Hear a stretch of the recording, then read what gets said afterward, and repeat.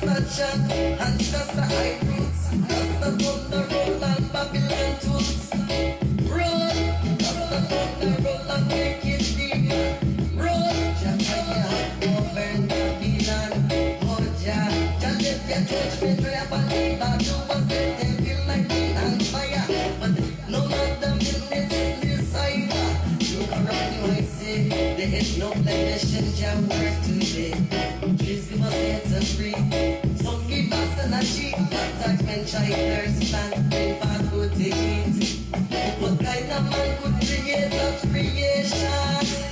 But look at explosion. No coincidence. There is no scientist explanation. Creator,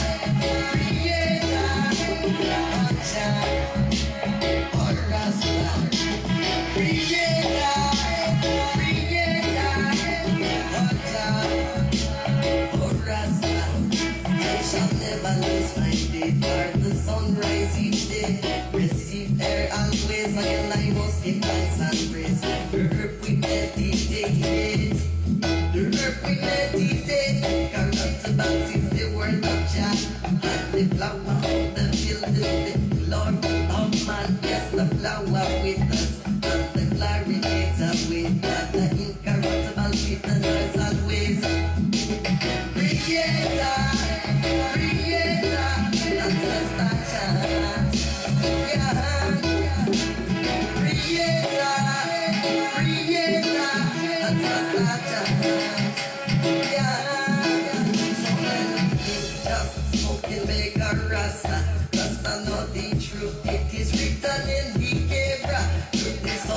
Solomon and the queen of Sheba. Since the power moved from Jerusalem to Ethiopia. Heard the inspiration through ganja. Sun in, sun gave by power. Elements of lightning, thunder, water, brimstone, and fire. Rhythm of life in this reggae music. Alpha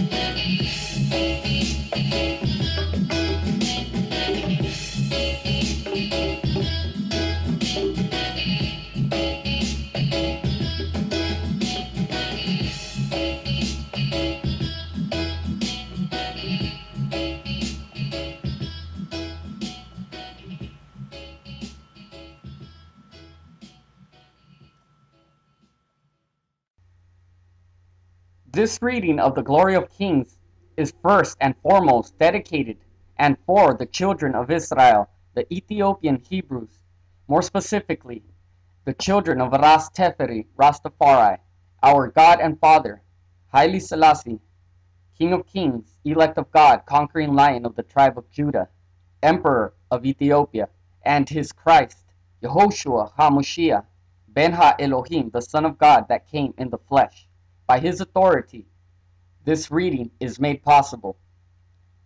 Note to listener. This reading does not contain prefaces or other materials within the actual text. The Queen of Sheba and her only son Menelik, Kebra Nagast, Glory of the Kings, translated by Sir E. A. Wallace Budge.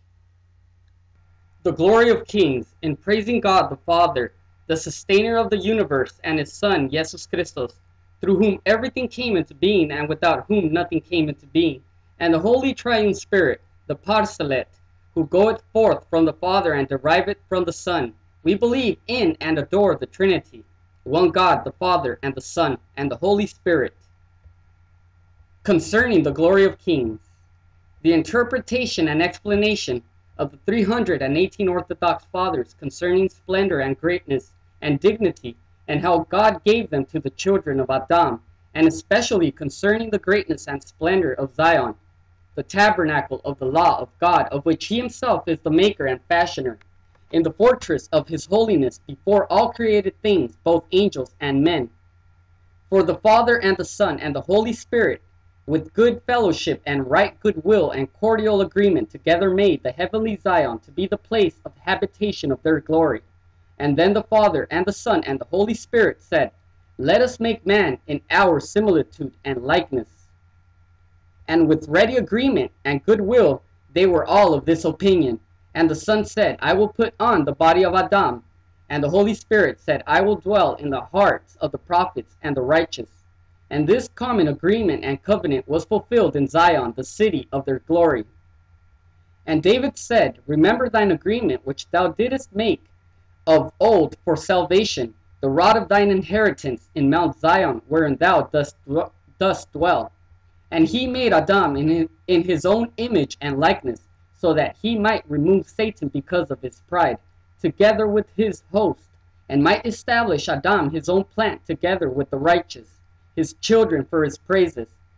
For the plan of God was decided upon and decreed in that he said, I will become man, and I will be in everything which I have created.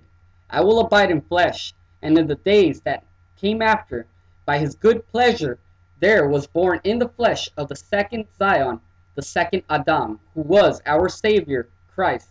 This is our glory and our faith, our hope and our life, the second Zion.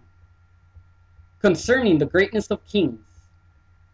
Come then, let us go back and let us consider, and let us begin to state which of the kings of the earth, from the first even to the last, in respect of all of the law and the ordinances, and honor and greatness, we should magnify or decree.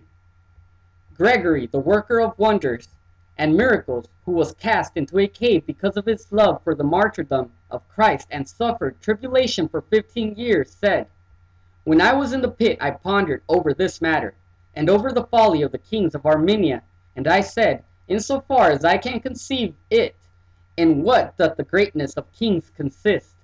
Is it in the multitude of soldiers, or in the splendor of worldly possessions, or in extent of rule over cities and towns? This was my thought each time of my prayer, and my thoughts stirred me again and again to meditate upon the greatness of kings. And not and now I will begin concerning the kingdom of Adam. And I go up from Adam, and I say, God is king in truth. For him praise is meet, and he appointed under him Adam to be king over all that he had created. And he drove him out of the garden because of his apostasy through the sin of the serpent and the plotting of the devil. And at that sorrowful moment Cain was born. And when Adam saw that the face of Cain was ill tempered, and his appearance evil, he was sad.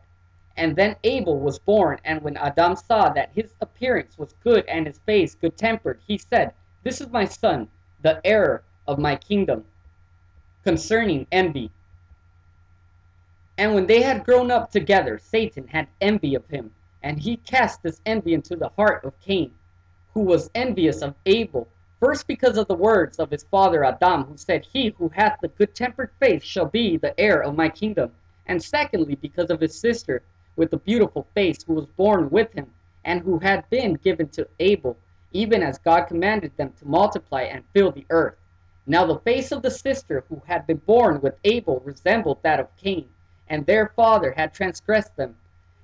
Two, two sisters when giving them in marriage. And thirdly, because when the two brothers offered up sacrifice, God accepted the offering of Abel and rejected the offering of Cain.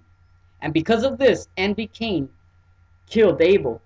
Thus fratricide was the first created through Satan's envy of the children of Adam. And having killed his brother, Cain fell into a state of trembling and horrible fright.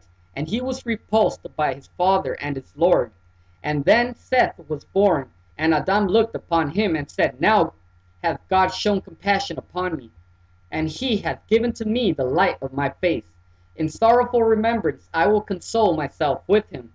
The name of him that shall slay my heirs shall be blotted out, even to his ninth generation. Concerning the kingdom of Seth. And Adam died, and Seth reigned in righteousness, and Seth died, and Enos reigned, and Enos died, and Canaan reigned, and Canaan died, and Malalel reigned, and Malalel died, and Yarod reigned, and Yarod died, and Enoch reigned in righteousness, and he feared God. And God hid him so that he might not see death. And he became a king in, in his flesh in the land of the living. And after Enoch disappeared, Methuselah reigned, and Methuselah died, and Lamech reigned, and Lamech died, and Noah reigned in righteousness, and he pleased God in all his works. Concerning the sin of Cain. And that accursed man Cain, the murderer of his brother, multiplied evil, and his seed did likewise. And they provoked God to wrath with their wickedness, and they had not the fear of God before their eyes. And they never kept in mind that he had created them, and they never prayed to him, and they never worshipped him, and they never called upon him, and they never rendered service to him in fear. Nay, they ate and they drank, and they danced, and they played upon stringed instruments, and sang lewd songs thereto. And they worked uncleanness without law, without measure, and without rule. And the wickedness of the children of Cain multiplied until at length, in the greatness of their filthiness, they introduced the seed of the ass into the mare, and the mule came into being, which God had not commanded, even like those who give their children who are believers to those who deny God. And their offspring become the seed of the filthy Gomor- Gomorrahites, one half of them being of good, and the other half of them evil seed. And as for those who, who do this wickedness, their judgment is ready, and their error is everlasting. Concerning Noah. Now Noah was a righteous man. He feared God, and kept the righteousness and the law of which his fathers had declared to him.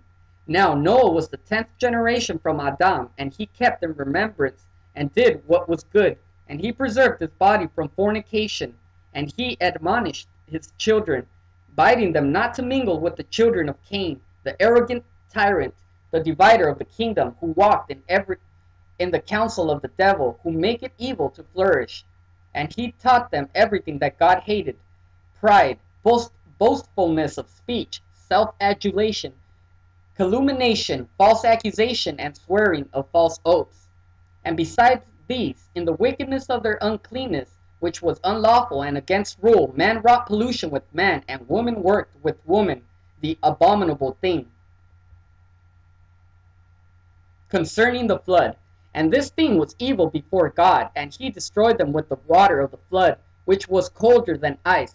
He opened the doors of heaven, and the cataracts of the flood poured down, and he opened the fountains that were under the earth, and the fountains of the flood appear on the earth. And the sinners were blotted out, for they reaped the fruit of their punishment.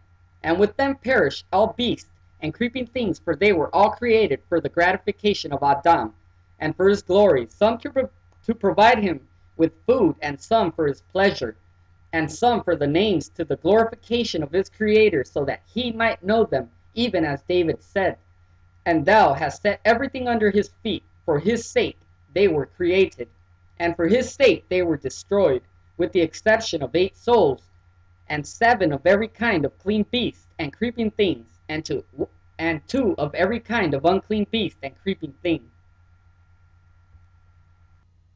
Concerning the covenant of Noah.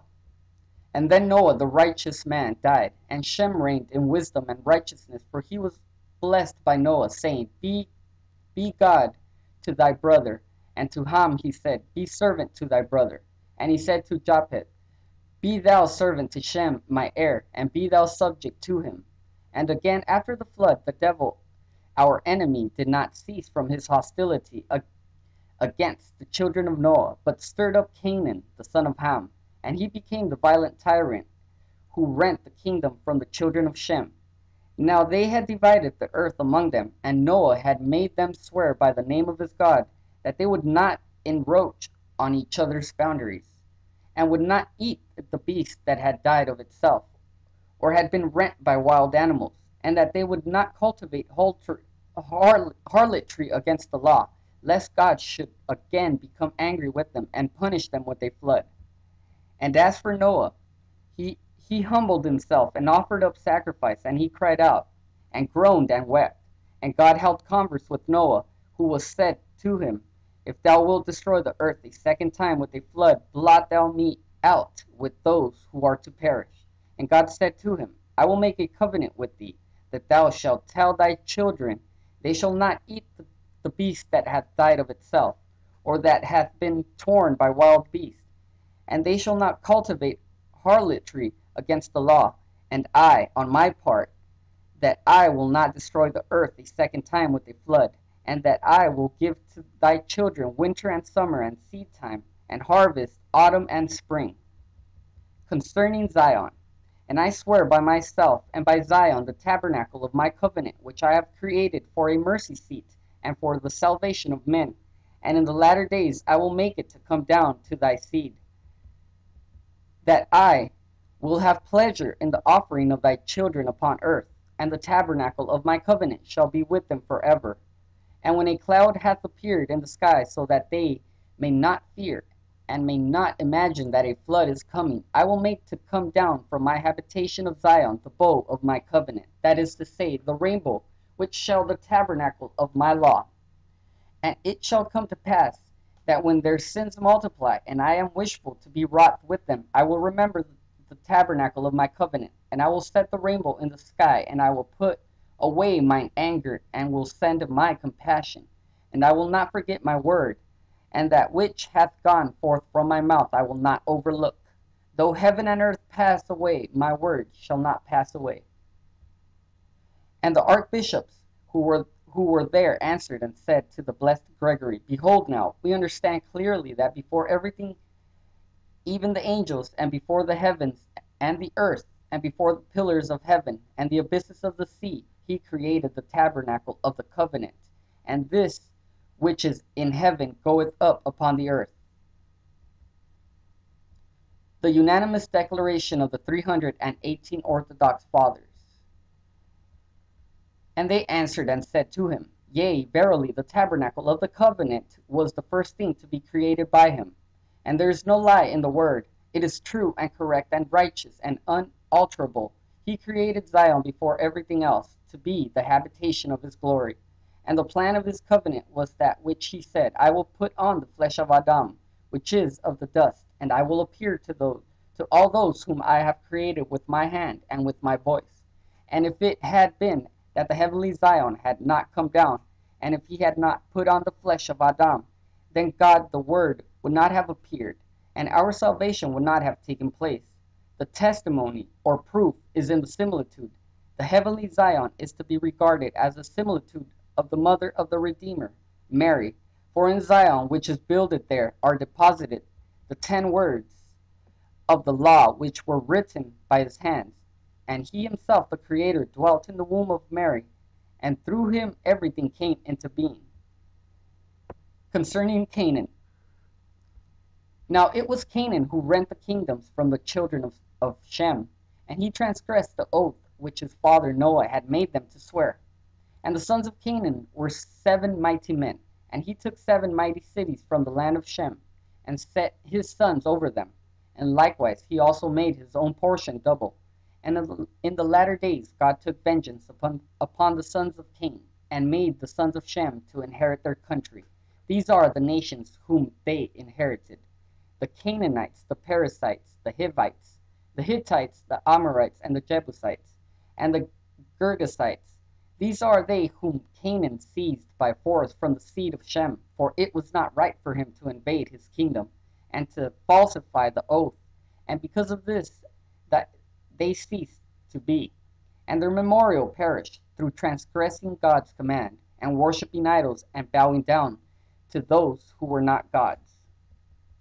And after the death of Shem, Arphaxad reigned, and after the death of Ar- Arphaxad, Canaan reigned, and after the death of Canaan, Salah reigned, and after him Eber reigned, and after him Peleg reigned, and after him Reuel reigned, and after him Serug reigned, and after him Nahor reigned, and after him Terah reigned, and, and these are they who made magical images, and they went to the tombs of their fathers, and made an image or picture of gold, and silver, and brass, and a devil used to hold converse with them out of each of the images of their fathers, and say to them, O my son, so and so offer up to me as a sacrifice the son whom thou lovest. And they slaughtered their sons and their daughters to the devils, and they poured out innocent blood of filthy devils. Concerning Abraham, and Terah begot a son, and called him Abraham or Abram, And when Abram was twelve years old, his father Terah sent him to sell idols. And Abraham said, These are not gods that can make deliverance. And he took away the idols to sell even as his father had commanded him. And he said to those to whom he would sell them, Do ye wish to buy gods that cannot make deliverance?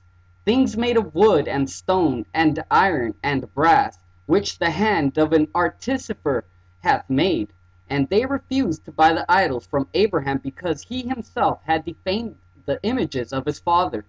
And as he was returning, he stepped aside from the road, and he set the images down and looked at looked at them, and said to them, I wonder now if ye are able to do what I ask you at this moment, and whether ye are able to give me bread to eat, or water to drink. And none of them answered him, for they were pieces of stone and wood. And he abused them and heaped re- upon them, and they spake never a word. And he buffeted the face of one, and kicked another with his feet. And a third he knocked over and broke to pieces with stones. And he said to them, If ye are unable to deliver yourselves from him that buffeteth you, and ye cannot requite with in- injury him that injureth you, how can ye be called gods? Those who worship you do so in vain. And as for myself, I utterly despise you, and ye shall not be my gods. Then he turned his face to the east, and he stretched out his hands and said, Be thou my God, O Lord, creator of the heavens and the earth, creator of the sun and the moon, creator of the sea and the dry land, maker of the majesty of the heavens and the earth, and of that which is visible and that which is invisible. O maker of the universe, be thou my God. I place my trust in thee, and from this day forth I will place my trust in no other save thyself. And then there appeared to him a chariot of fire, which blazed, and Abraham was afraid, and fell on his face on the ground. And God said to him, Fear thou not, stand upright. And he removed fear from him. Concerning the covenant of Abraham. And God held converse with Abram, and he said to him, Fear thou not, from this day thou art my servant, and I will establish my covenant with thee, and with thy seed after thee.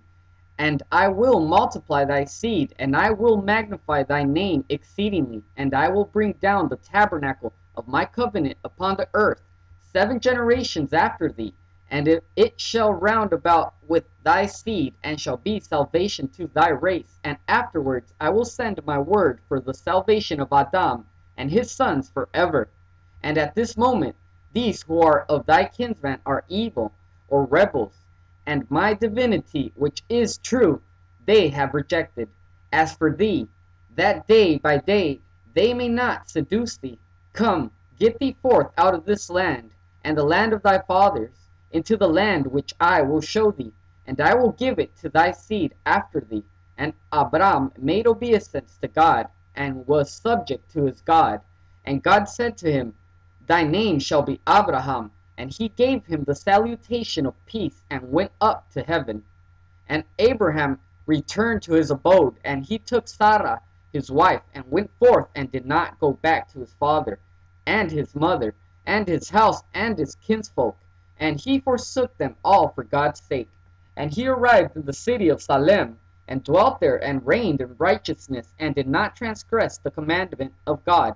And God blessed him exceedingly, and at length he possessed three hundred and eighteen stalwart servants, who were trained in war, and who stood before him and performed his will. And they wrote tunics, richly embroidered with gold, and they had chains of gold about their necks, and belts of gold round their loins, and they had crowns of gold on their heads. And by means of these men Abraham vanquished his foe, and he died in glory in God, and was more gracious and excellent than those who were before him. He was gracious and held in honor and highly esteemed. Concerning Isaac and Jacob. And Isaac his son became king, and he did not transgress the commandment of God, and he was pure in his soul, and in his body, and he died in honor.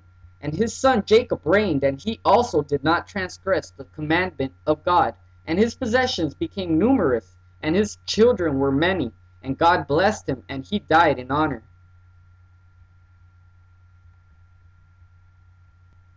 Concerning Reuben.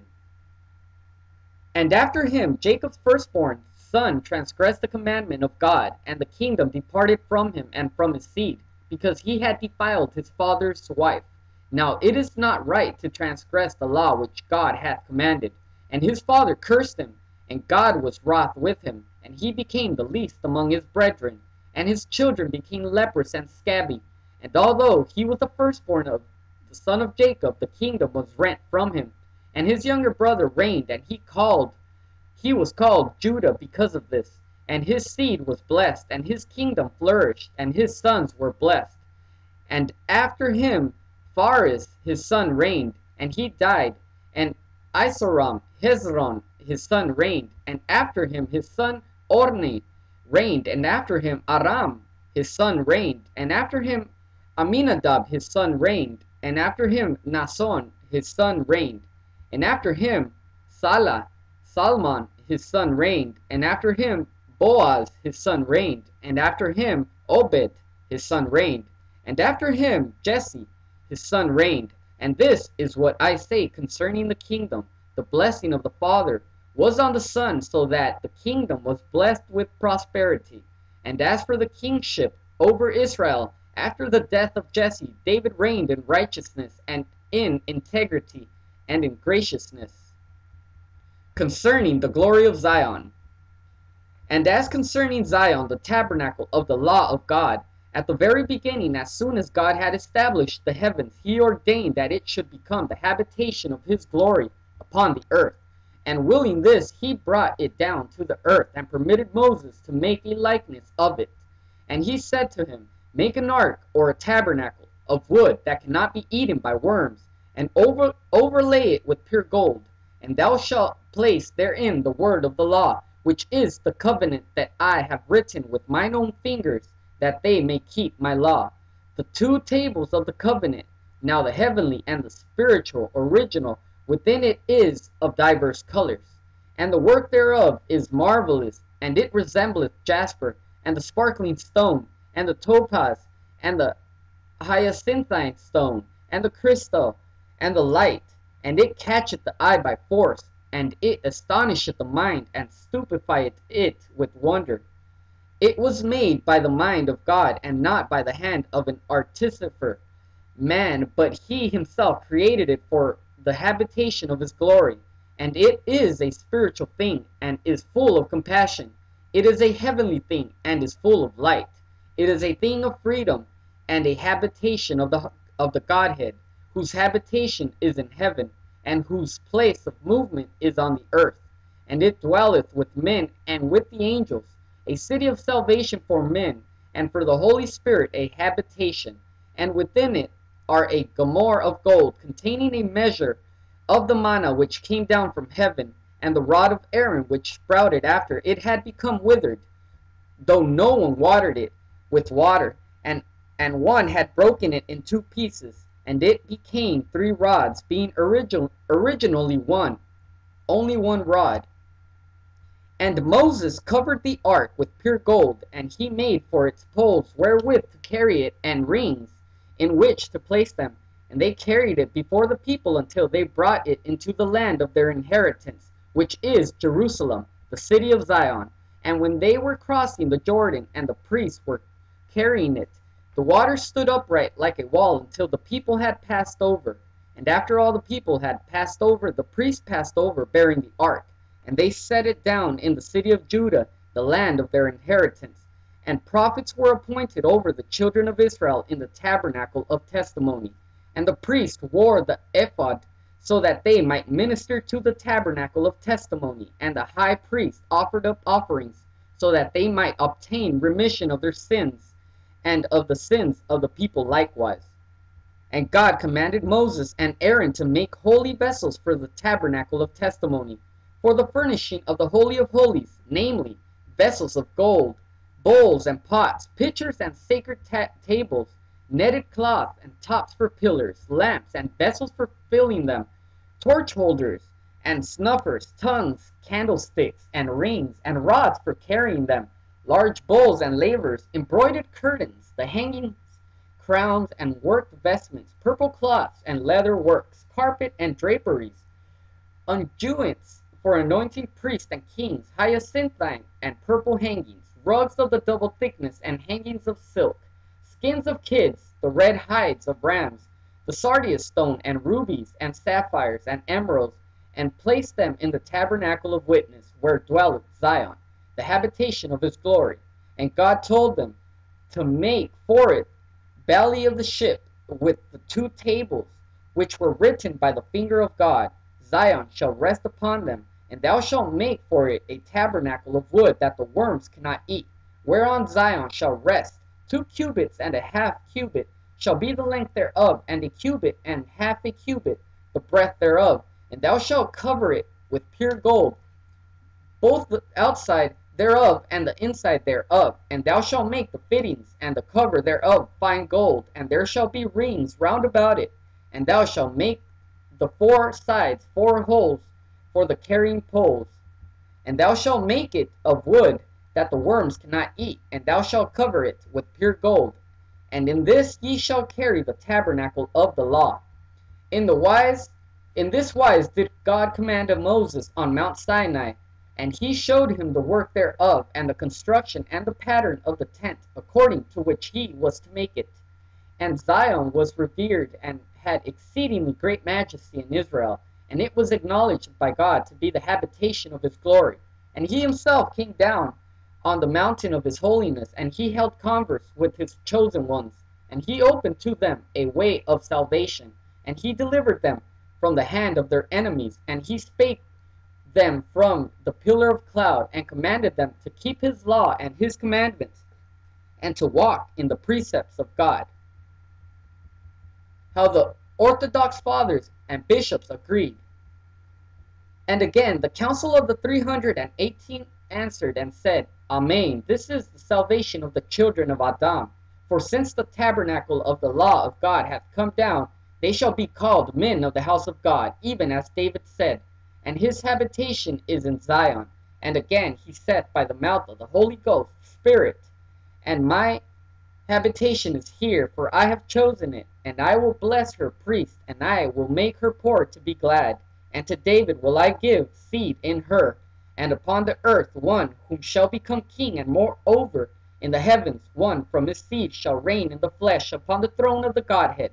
And as for his enemies, they shall be gathered together under his footstool, and they shall be sealed with his seal. How this book came to be found.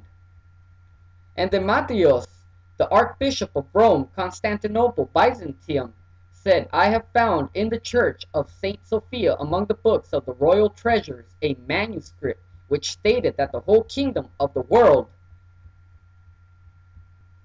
belonged to the Emperor of Rome and the Emperor of Ethiopia. Concerning the division of the earth. From the middle of Jerusalem and from the north thereof to the southeast is the portion of the Emperor of Rome, and from the middle of Jerusalem from the north thereof to the south and to the western India is the portion of the Emperor of Ethiopia. For both of them are of the seed of Shem, the son of Noah, the seed of Abraham, the seed of David, the children of Solomon. For God gave the seed of Shem glory because of the blessing of their father Noah. The emperor of Rome is the son of Solomon, and the emperor of Ethiopia is the firstborn and eldest son of Solomon. Concerning the queen of the south, and how this queen was born, I have discovered written in the manuscript, and in this manner also doth the evangelist mention that woman. And our Lord Jesus Christos is condemning the Jewish people the crucifiers who believed at that time spake, saying, The queen of the south shall raise up on the day of judgment, and shall dispute with and condemn, and shall overcome this generation, who would not hearken to the preaching of my word. For she came from the ends of the earth to hear the wisdom of Solomon. And the queen of the south of whom he spake was the queen of Ethiopia. And in the words, ends of the earth, he maketh allusion to the delicacy of the constitution of women, and the long distance of the journey, and the burning heat of the sun, and the hunger on the way, and the thirst for water. And this queen of the south was very beautiful in face, and her stature was superb, and her understanding and intelligence, which God had given her, were of such higher character that she went to Jerusalem to hear the wisdom of Solomon. Now this was done by the command of God, and it was his good pleasure. And moreover, she was exceedingly rich, for God had given her glory and riches and gold and silver and splendid apparel and camels and slaves and trading men or more merchants, and they carried on her business and trafficked for her by sea and by land, and in India and in Aswan, Syene. Concerning Tamrin, the merchant. And there were there was a certain wise man, the leader of a merchant caravan, whose name was Tamrin, and he used to load five hundred and twenty camels, and he possessed about three and seventy ships. Now at that time King Solomon wished to build a house of God, and he sent out messages among all the merchants in the east and in the west, and in the north and in the south, bidding the, mer- the merchants come and take gold and silver from him, so that he might take from them whatsoever was necessary for the work. And certain men reported to him concerning this rich Ethiopian merchant, and Solomon sent to him a message and told him to bring whatsoever he wished from the country of Arabia, red gold and black wood that could not be eaten by worms, and sapphires. And that merchant, whose name was Tamrin, the merchant of the queen of Ethiopia, went to Solomon the king. And Solomon took whatsoever he desired from him, and he gave to the merchant whatsoever he wished for in great abundance. Now that merchant was a man of great understanding, and he saw and, and comprehended the wisdom of Solomon. And he marveled, and he watched carefully so that he might learn how the king made answer by his word, and understand his judgment and the readiness of his mouth, and the discreetness of his speech, and the manner of his life, and his sitting down and his rising up, and his occupations and his love, and his administration and his table and his law. To those to whom Solomon had to give orders he spake with humility and graciousness, and when they had committed a fault he admonished them gently, for he ordered his house in the wisdom and fear of God. And he smiled graciously on the fools and set them on the right road. And he dealt gently with the maidservants. He opened his mouth in parables, and his words were sweeter than the purest honey. His whole behavior was admirable, and his whole aspect pleasant. For wisdom is beloved by men of understanding, and is rejected by fools. And when the merchant had seen all these things, he astonished, and, and he marveled exceedingly. For those who were wont to see Solomon held him in complete affection, and he became their teacher. And because of his wisdom and excellence, those who had once come to him did not wish to leave, leave him and go away from him. And the sweetness of his words was like water to the man who is athirst, and like bread to the hungry man, and like healing to the sick man, and like apparel to the naked man. And he was like a father to the orphans, and he judged with righteousness and accepted the persons of no man. He was impartial. He had glory and riches, which God had given to him in great abundance, namely gold and silver and precious stones, and rich apparel, and cattle and sheep, and goats innumerable. Now, in the days of Solomon the king, gold was as common as bronze, and silver as lead, and bronze and lead and iron were as abundant as the grass of the fields, and the reeds of the desert, and the cedar wood was also abundant. And God had given him glory and riches, and wisdom, and grace in such abundance that there was none like to him among his predecessors, and among those who came after him was none like to him. How the merchant returned to Ethiopia. And it came to pass that the merchant Tamrin wished to return to his own country, and he went to Solomon and bowed low before him, and embraced him and said to him, Peace be to thy majesty, send me away, and let me depart to my country, to my lady, for I have tarried long in beholding thy glory, and thy wisdom, and the abundance of dainty meats, wherewith thou hast regal- regaled me. And now I would depart to my lady. Would that I could abide with thee, even as one of the very least of thy servants. For blessed are they who hear thy voice and perform thy commands. Would that I could would that I could abide here and never leave thee. But thou must send me away to my lady because of what hath been committed to my charge, so that I may give to her her property. And as for myself, I am her servant. And Solomon went into his house and gave to him whatsoever valuable thing he desired for the country of Ethiopia, and he sent him away in peace. And Tamrin bade himself farewell, and went forth and journeyed along his road, and came to his lady and delivered over to her all the possessions which he had brought. And he related to her how he had arrived in the country of Judah and Jerusalem, and how he had gone into the presence of Solomon the king, and all that he had heard and seen. And he told her how Solomon administered just judgment, and how he spake with authority, and how he decided rightly in all the matters which he inquired into, and how he returned soft and gracious answers, and how there was nothing false about him, and how he appointed inspectors over the seven hundred woodmen who hauled the timber, and the eight hundred masons who hewed the stone, and how he sought to learn from all the merchants and dealers concerning the cunning craft and the working thereof, and how he received information and imparted it twofold, and how all his handicraft and his works were performed with wisdom. And each morning Tamrin related to the queen about all the wisdom of Solomon, how he administered judgment and did and did what what was just, and how he ordered his table, and how he made feasts, and how he taught wisdom, and how he directed his servants and all his affairs on a wise system, and how they went on their errands at his command, and how no man defrauded another, and how no man purloined the property of his neighbor, and how there was neither a thief nor a robber in his days.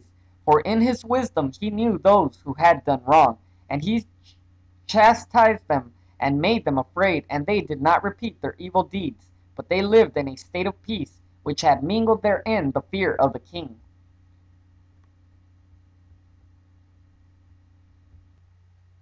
All these things did Tamrin relate to the queen, and each morning he recalled the things that he had seen with the king and described them to her. And the queen was struck dumb with wonder at the things that she heard from the merchant her servant, and she thought in her heart that she would go to him, and she wept by reason of the greatness of her pleasure in those things that Tamrin had told her. And she was exceedingly anxious to go to him, but when she pondered upon the long journey she thought that it was too far and too difficult to undertake. And time after time she asked Tamrin questions about Solomon, and time after time Tamrin told her about him, about him, and she became very wishful and most desir- desirous to go, that she might hear her, his wisdom, and see his face, and embrace him, and petition his royalty. And her heart inclined to go to him, for God had made her heart inclined to go, and had made her to desire it. How the queen made ready to set out on her journey. And the queen said to them, Hearken, O ye who are my people, and give ye ear to my words, for I desire wisdom, and my heart seeketh to find understanding. I am smitten with the love of wisdom, and I am constrained by the cords of understanding. For wisdom is far better than treasure of gold and silver, and wisdom is the best of everything that hath been created on the earth. Now, to what under the heavens shall wisdom be compared? It is sweeter than honey, and it maketh one to rejoice more than wine. And it illumineth more than the sun, and it is to be loved more than precious stones. And it fatteneth more than oil, and it satisfieth more than dainty meats, and it giveth a man more renown than thousands of gold and silver.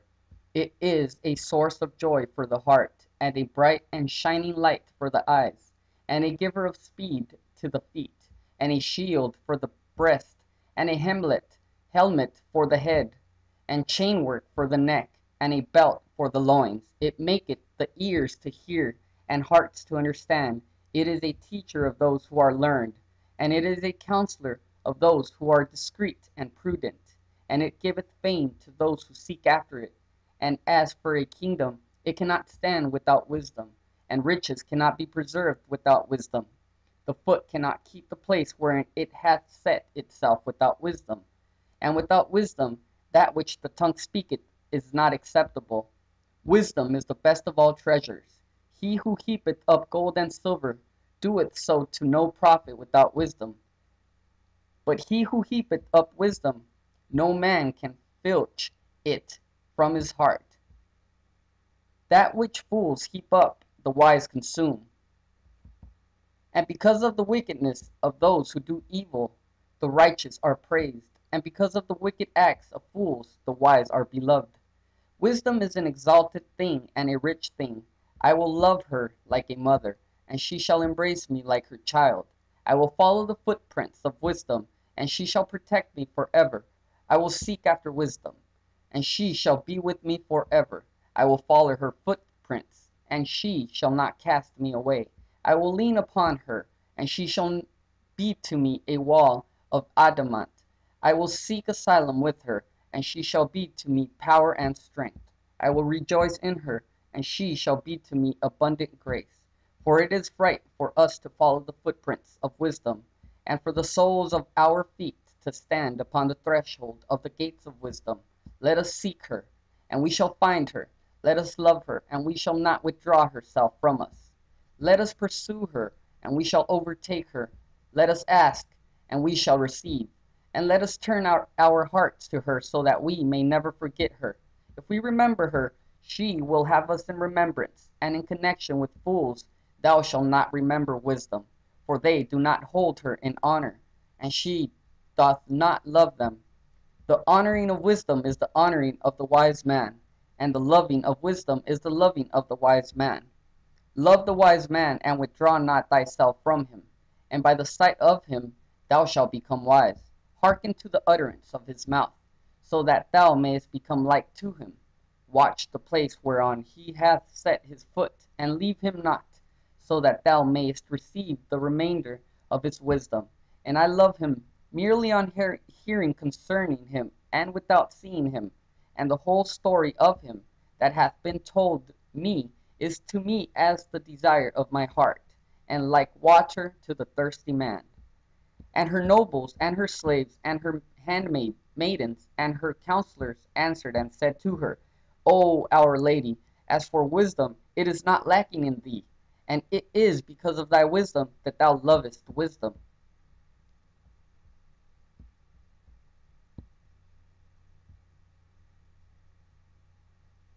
And two for us, if thou goest, we will go with thee, and if thou sittest down, we will sit down with thee. Our death shall be with thy death, and our life with thy life. Then the queen made ready to set out on her journey with great pomp and majesty, and with great equipment and many preparations. For by the will of God her heart desired to go to Jerusalem so that she might hear the wisdom of Solomon. For she had hearkened eagerly.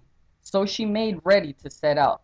And seven hundred and ninety seven camels were loaded, and mules and asses innumerable were loaded. And she set out on her journey and followed her road without pause, and her heart had confidence in God. How the queen came to Solomon the king. And she arrived in Jerusalem and brought to the king very many precious gifts which she which he desired to possess greatly and he paid her great honor and rejoiced.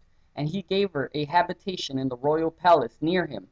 And he sent her food both for, for the morning and evening meal, each time fifteen measures by the cori of fine, finely ground white meal, cooked with oil and gravy and sauce in abundance, and thirty measures by the cori of crushed white meal, wherefrom bread for three hundred and fifty people was made with the necessary platters and trays and ten stalled oxen, and five bulls and fifty sheep, without counting the kids, and deer, and gazelles, and fatted fowls, and a vessel of wine containing six, sixty gerats measures, and thirty measures of old wine, and twenty-five singing men and twenty-five singing women, and the finest honey and rich sweets, and some of the food which he himself ate, and some of the wine whereof he drank and every day he arrayed her in eleven garments which bewitched the eyes.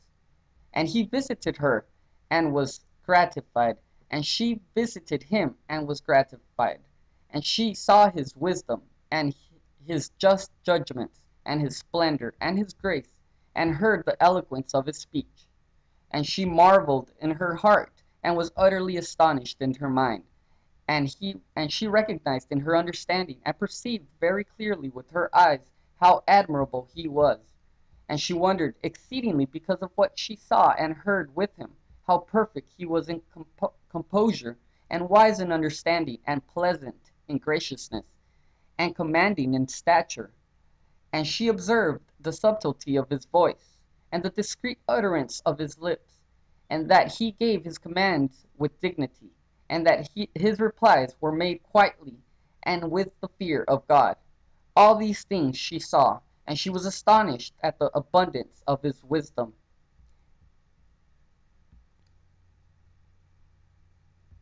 And there was nothing whatsoever wanting in his word and speech, but everything that he spake was perfect. And Solomon was working at the building of the house of God, and he rose up and went to the right and to the left and forward and backward, and, and he showed the workmen the measurement and weight and the space covered by the materials, and he told the workers in metal, in metal how to use the hammer and the drill and the chisel, and he showed the stonemasons the angles measure and the circle and the surface measure, and everything was wrought by his order, and there was none who set himself in opposition to his word, for the light of his heart was like a lamp in the darkness, and his wisdom was as abundant as the sand. And of the speech of the beasts and the birds there was nothing hidden from him, and he forced the devils to obey him by his wisdom. And he did everything by means of the skill which God gave him when he made sup- supplication to him. For he did not ask for victory over his enemy, and he did not ask for riches and fame, but he asked God to give him wisdom and understanding whereby he might rule his people and build his house and beautify the work of God and all that he had given him wisdom and understanding. How the king held converse with the queen. And the queen Makeda spoke to King Solomon, saying, Blessed art thou, my lord, in that such wisdom and understanding have been given to thee. For myself, I only wish that I could be as one of the least of thine handmaidens, so that I could wash thy feet and hearken to thy wisdom, and, and apprehend thy understanding, and serve thy majesty, and enjoy thy wisdom. Oh, how greatly have pleased me thy answering, and the sweetness of thy voice, and the beauty of thy going, and the graciousness of thy words and the readiness thereof. The sweetness of thy voice maketh the heart to rejoice, and maketh the bones fat, and giveth courage to hearts, and goodwill and grace to the lips, and strength to the gait. I look upon thee, and I see that thy wisdom is immeasurable, and thine understanding inexhaustible, and that it is like to a lamp in the darkness, and like to a pomegranate in the garden and like to a pearl in the sea, and like to the morning star among the stars, and like to the light of the moon in the midst, and like to a glorious dawn and sunrise in the heavens. And I give thanks to him that brought me hither, and showed thee to me, and made me to, to tread upon the threshold of thy gate, and made me to hear thy voice. And King Solomon answered and said to her, Wisdom and understanding spring from thyself. As for me, I only possess them in the measure in which the God of Israel hath given them to me, because I asked and entreated them for him, from him. And thou, although thou dost not know the God of Israel, hast, hast this wisdom which thou hast made to grow in thine heart, and it hath made thee come to see me, the vassal, the vassal and slave of my God, and the building of his sanctuary which I am establishing, and wherein I serve and move round about my lady, the tabernacle of the law of the God of Israel, the holy and heavenly Zion. Now I am the slave of my God, and I am not a free man. I do not serve according to my own will, but according to his will. And this speech of mine springeth not from myself, but I give utterance only to what he maketh me to utter. Whatsoever he commandeth me, that I do. Wheresoever he wisheth me to go, thither, thither I go. Whatsoever he teacheth me, that I speak. That concerning which he giveth me wisdom I understand.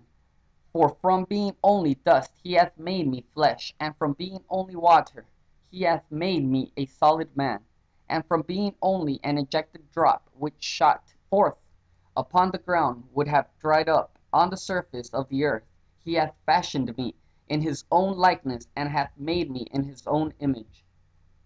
Concerning the laborer. And as Solomon was talking in this wise with the queen, he saw a certain laborer carrying a stone upon his head, and a skin of water upon his neck and shoulders, and his food and his sandals were tied about his loins, and there were pieces of wood in his hands. His garment were ragged and tattered. The sweat fell in drops from his face, and the water from the skin of water dripped down upon his feet. And the laborer passed before Solomon, and as he was going by the king said to him, Stand still. And the laborer stood still. And the king turned to, queen, to the queen and said to her, Look at this man. Wherein am I superior to this man? And in what am I better than this man? And wherein shall I glorify over this man? For I am a man, and dust and ashes, who tomorrow will become worms and corruption and yet at this moment I appear like one who will never die. Who would make any complaint against God if he were to give to this man as he hath given to me, and if he were to make me even as this man is? Are we not both of us beings, that is to say, men? As is his death, so is my death, and as is his life, so is my life. Yet this man is stronger to work than I am, for God giveth power to those who are feeble, just as it pleaseth him to do so. And Solomon said to the laborer, Get thee to thy work. And he spake further to the queen, saying, What is the use of us, the children of men, if we do not exercise kindness and love upon earth? Are we not all nothingness, mere grass of the field, which withereth in the season, and, and is burnt in the fire.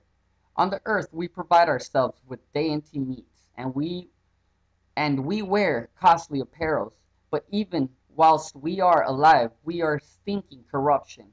We provide ourselves with sweet scents and delicate unguents, but even whilst we are alive, we are dead in sin and in transgressions. Being wise, we become we become fools through disobedience and deeds of iniquity. Being held in honor, we become contemptible through magic and sorcery and the worship of idols. Now the man who is a being of honor, who was created in the image of God, if he doeth that which is good, becometh like God. But the man who is a thing of nothingness, if he committeth sin, becometh like to the devil, the arrogant devil who refused to obey the command of his Creator.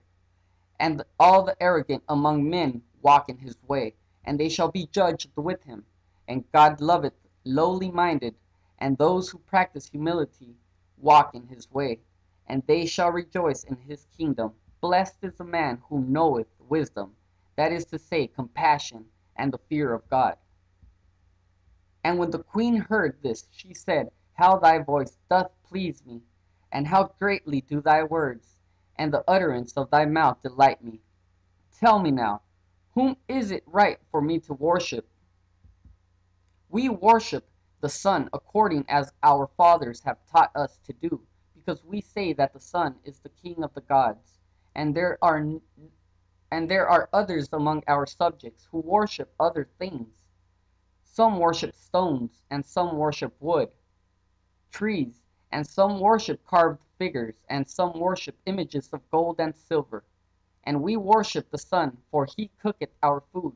And moreover, he illumineth the darkness, and remove fear. We call him our King, and we call him our Creator. And we worship him as our God. For no man hath told us that besides him there is another God.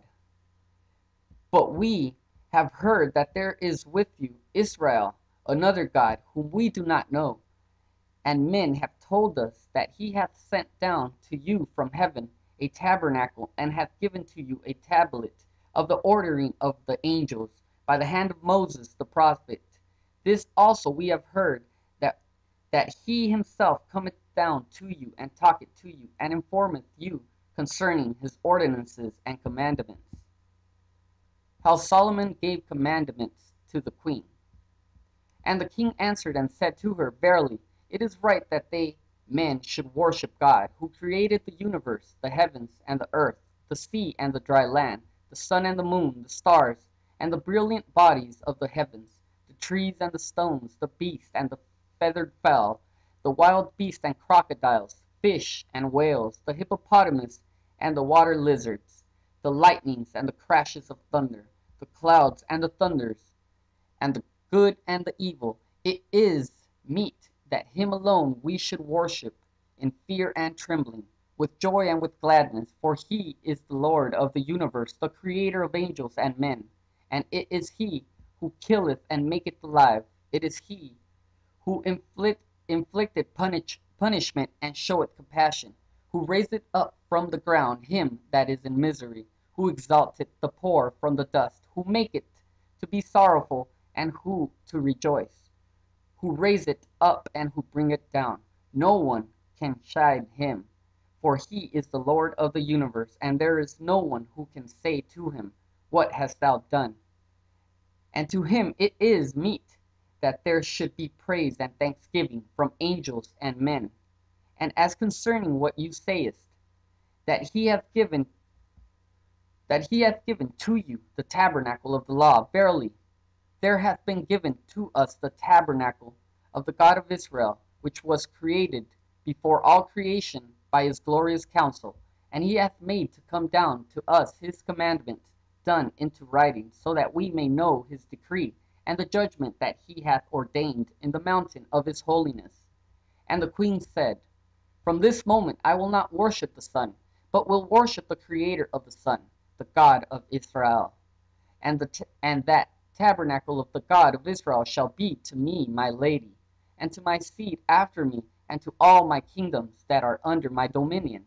And because of this I have found favor before thee, and before the God of Israel, my Creator, who hath brought me to thee, and hath made me to hear thy voice, and hath shown me thy face, and hath made me to understand thy commandment. Then she returned to her house. And the queen used to go to Solomon, and return continually, and hearken to his wisdom, and keep it in her heart. And Solomon used to go and visit her, and answered all the questions which she put to him. And the queen used to visit him and ask him questions, and he informed her concerning every matter that she wished to inquire about. And after she had dwelt six months, the queen wished to return to her own country, and she sent a message to Solomon, saying, I desire greatly to dwell with thee, but now, for the sake of my people, I wish to return to my own country, and ask for that which I have heard, may God make it to bear fruit in my heart, and in the hearts of all those who have heard it with me. For the ear could never be filled with the hearing of thy wisdom, and the eye could never be filled with the sight of thy of the same.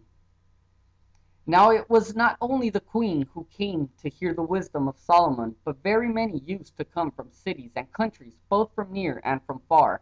For in those days there was no man found to be like to him for wisdom, and it was not only human beings who came to him, but the wild animals and the birds used to come to him and hearken to his voice, and hold converse with him, and then they returned to their own countries, and every one of them was astonished at his wisdom and marveled at what he had seen and heard.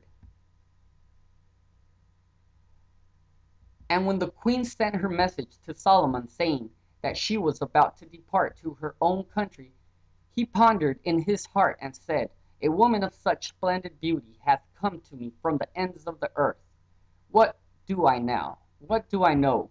Will God give me seed in her? Now, as it is said in the book of Kings, Solomon the king was a lover of women, and he married wives of the Hebrews, and the Egyptians, and the Canaanites, and the Edomites, and the Ebrawian, the Moabites, and from and from Kergueh and Damascus and Syria, and the women who were reported to be beautiful.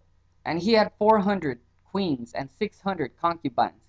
Now this which he did was not for the sake of fornication, but as a result of the wise intent that God had given to him, and his remembering what God had said to Abraham, I will make thy seed like the stars of heaven for number, and like the sand of the sea.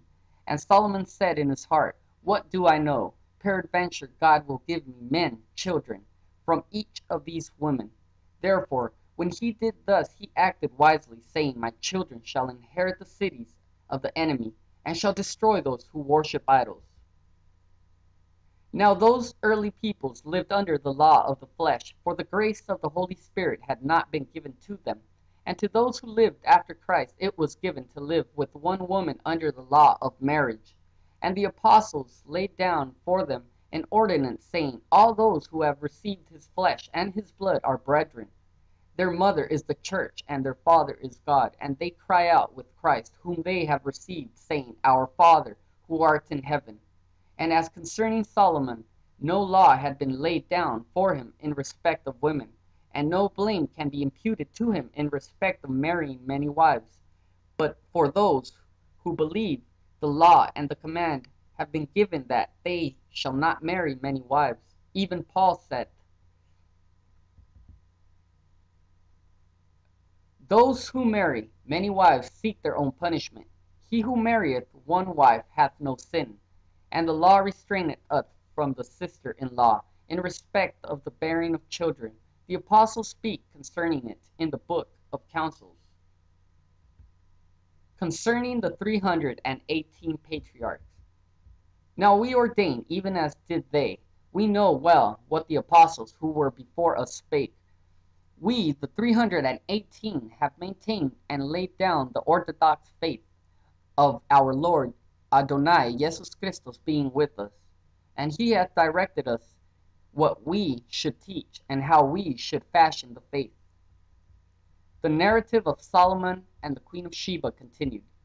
And the king Solomon sent a message to the queen, saying, Now that thou hast come here, why wilt thou go away without seeing the administration of the kingdom, and how the meals for the chosen ones of the kingdom are eaten after the manner of the righteous? and how the people are driven away after the manner of sinners. From the sight of it, thou wouldest acquire wisdom. Follow me, and now seat thyself in thy splendor in the tent, and I will complete thy instruction, and thou shalt learn the administration of my kingdom. For thou hast loved wisdom, and she shall dwell with thee until thine end and forever. Now a prophecy maketh itself apparent in this speech. And the queen sent a second message, saying, From being a fool I have become wise by following thy wisdom, and from being a thing rejected by God of Israel I have become a chosen woman because of this faith which which is in my heart, and henceforth I will worship no other God except him. And as concerning that which thou sayest, that thou wishest to increase in me wisdom and honor, I will come according to thy desire. And Solomon rejoiced because of this message, and he arrayed his chosen ones in splendid apparel, and he added a double supply to his table, and he had all the arrangements concerning the management of his house carefully ordered, ordered, and the house of King Solomon was made ready for the guest daily, and he made it ready with a very great pomp, in joy, and in peace, and in wisdom, and in tenderness, with all the humility and lowliness and then he ordered the royal table according to the law of the kingdom. And the queen came and passed into a place set apart in splendor and glory, and she sat, sat down immediately behind him, where she could see and learn and know everything. And she marveled exceedingly at what she saw and at what she heard, and she praised the God of Israel in her heart. And she was struck with wonder at the splendor of the royal place which she saw for she could see, though no one could see her, even as Solomon had arranged in wisdom for her.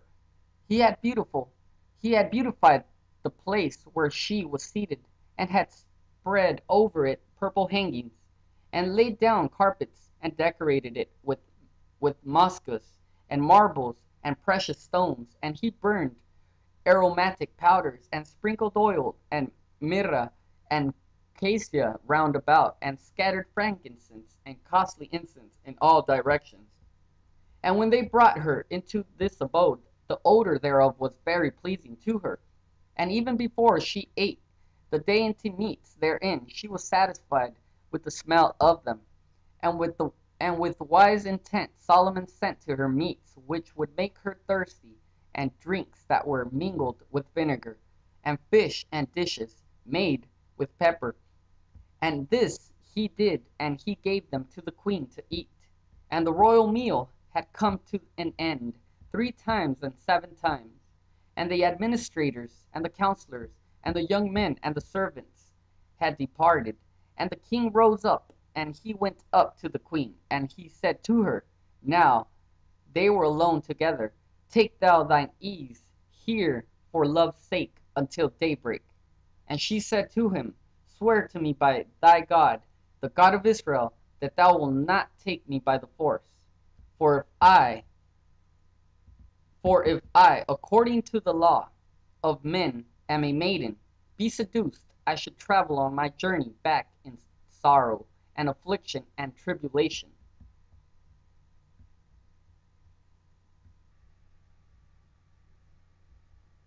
Concerning how King Solomon swore to the queen. And Solomon answered and said to her, I swear to thee that I will not take thee by force, but thou must swear to me that thou wilt not take by force anything that is in my house. And the queen laughed, and said to him, Being a wise man, why dost thou speak as a fool? Shall I steal anything, or shall I carry out of the house of the king that which the king hath not given to me? Do not imagine that I have come hither through love or riches. Moreover, my own kingdom is as wealthy as thine, and there is nothing which I which I wish for that I lack. Assuredly, I have only come in quest of thy wisdom. And he said to her, If thou wouldest make me swear, swear thou to me, for a swearing is meet for both of us, so that neither of us may unjustly be unjustly treated. And if thou wilt not make me swear, I will not make thee swear. And she said to him, Swear to me that thou wilt not take me by force. And I, on my part, will swear not to take by force thy possessions. And he swore to her, and made her swear. And the king went up on his bed on the one side of the chamber, and the servants made ready for her a bed on the other side. And Solomon said to a young manservant, Wash out the bowl, and set it set in it a vessel of water, whilst the queen is looking on, and shut the doors, and go and sleep. And Solomon spake to the servant in another tongue, which the queen did not understand. And he did as the king commanded, and went and slept. And the king had not at yet fallen asleep, but he only pretended to be asleep, and he was watching the queen intently. Now the house of Solomon the king was illumined as by day, for in his wisdom he had made shining pearls which were like to the sun, and moon, and stars, and had set them in the roof of his house.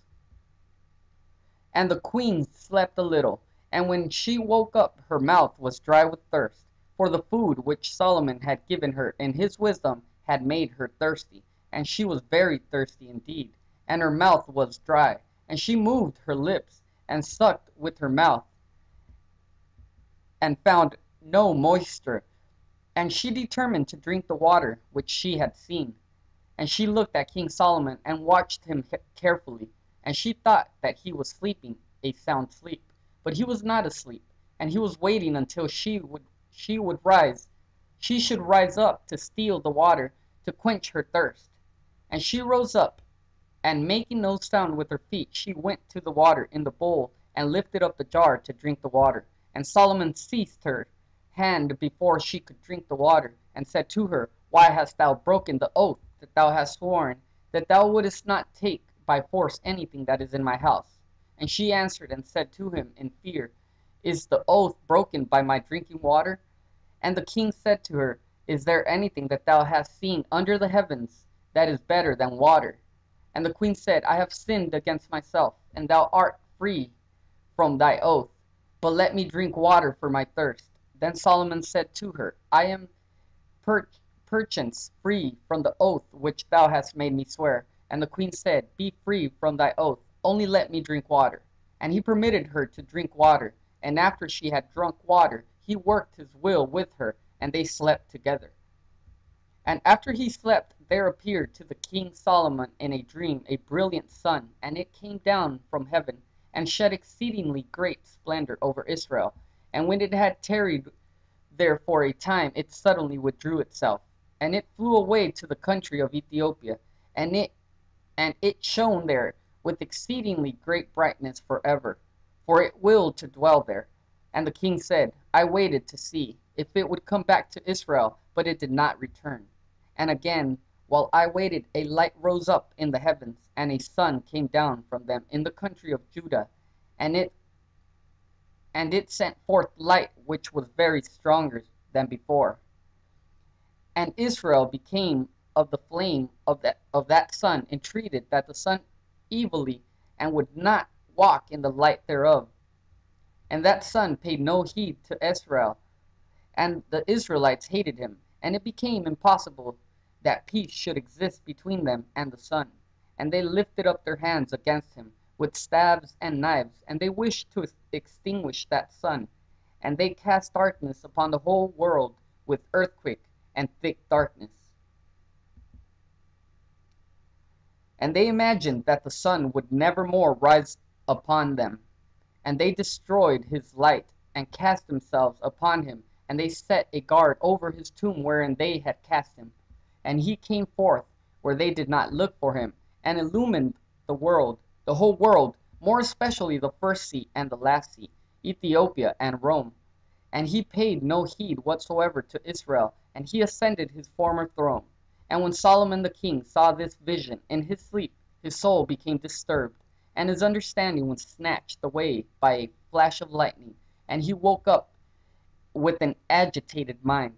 And moreover Solomon marveled concerning the queen, for she was vigorous in strength and beautiful of form, and she was undefiled in her virginity.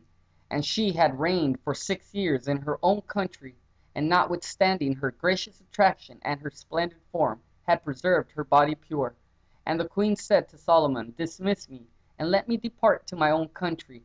And he went into his house, and gave to her whatsoever he wished for of splendid, for of splendid things and riches, and beautiful apparel which bewitched the eyes, and everything on which great store was set in the country of Ethiopia, and camels and wagons six thousand in number, which were laden with beautiful things of the most desirable kind.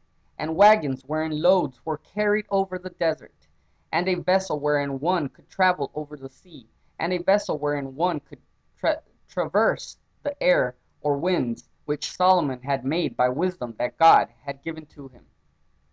Concerning the sign which Solomon gave the queen. And the queen rejoiced, and she went forth in order to depart. And the king set her on her way with great pomp and ceremony, and Solomon took her aside so that they might be alone together. And he took off the ring that was upon his little finger, and he gave it to the queen, and said to her, Take this, so that thou mayest not forget me. And if it happen that I obtain seed from thee, this ring shall be to it a sign. And if it be a man child, he shall come to me, and the peace of God be with thee. Whilst I was sleeping, with thee I saw many visions in a dream. And it seemed as if a sun had risen upon Israel, but it snatched itself away and flew off and lighted up the country of Ethiopia. Peradventure that that country should be blessed through thee, God knoweth. And as for thee, observe what I have told thee, so that thou mayest worship God with all thy heart, and perform his will, for he punisheth those who are arrogant and he showeth compassion upon those who are humble. And he removeth the, the thrones of the mighty of the mighty, and he maketh to be honored those who are needy. For death and life are from him, and riches and poverty are bestowed by his will. For everything is his, and none can oppose his command and his judgment in the heavens, or in the earth, or in the sea, or in the abysses. And may God be with thee. Go in peace. And they separated from each other how the queen brought forth and came to her own country. And the queen departed and came into the country of of Balazadesariah nine months and five days after she had separated from King Solomon.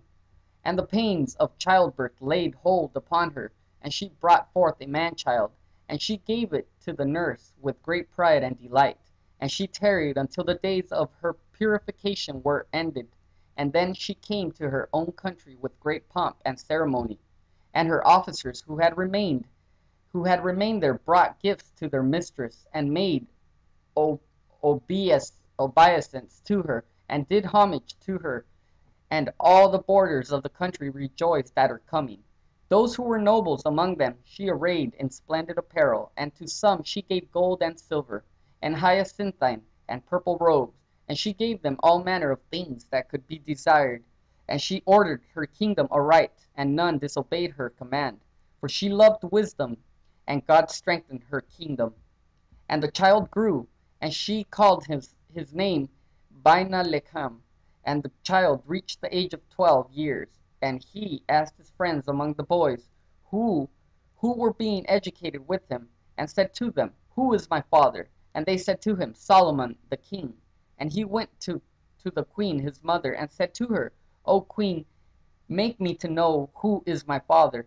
And the queen spoke to him angrily, wishing, wishing to wishing to frighten to frighten him so that he might not desire to go to his father, saying, Why dost thou ask me about thy father? I am thy father and thy mother. Seek not to know any more. And the boy went forth from her presence, and sat down.